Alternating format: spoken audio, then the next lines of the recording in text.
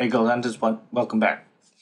So what we're going to do today is we're going to change the colors of some tenement holders. If you've been given um, access to tenements for a certain holder, you can color them up. So only those tenements are a different color to all others. Color tenement by holder. So we're just going to go through this tool. This tool is slightly slow. It obviously does a lot of processing in the background, so you just got to be patient with it. As you can see, it's a little slow. Okay, I'm going to go Paddington. I don't know why I'm picking on them, I just am. So what we're saying is we're going to say all our tenements, regardless of what they are, all these, what we can say is current holder. What colour would you like? We're going to say red. Live and pending, and we want no spatial filters. So I'm just saying wherever it is in Australia, in Western Australia, colour them up. So not applying any spatial filters here. Hit the OK. It says, yep, I found one Paddington. Is this the one you're after? What it's effectively asking you is to clarify this one. Select Paddington or your mining company. Scroll down and go next. There's a bit more processing. And wait for it.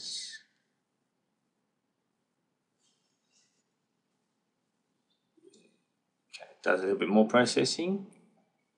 It's very unclear on what's going on, but it's actually doing a whole bunch of stuff. Okay. And it will make my map change. Doing a bit of zooming in. Turns on all the tenements. There it is, all in red. Okay. So I can go back to my data layers, turn my tenements off, and that red area is my area of interest. Here we are, all Paddingtons.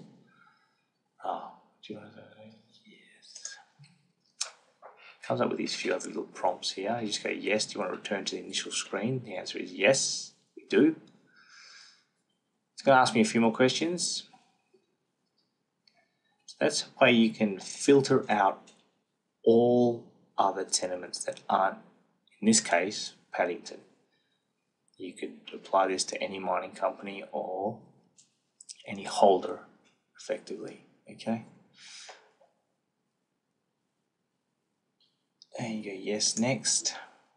Add the color holder layer. So adding it to our background and we're done. We're finished. So what this did down the bottom here here are my holders Paddington okay? So let's put it down here so I can turn them off turn them back on as I see fit.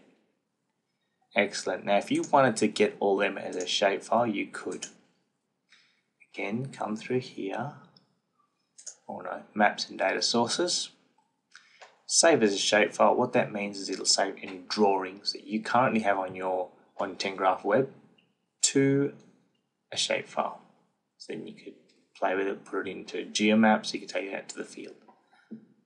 Out prospecting with you. All right, that's it. Leave a comment.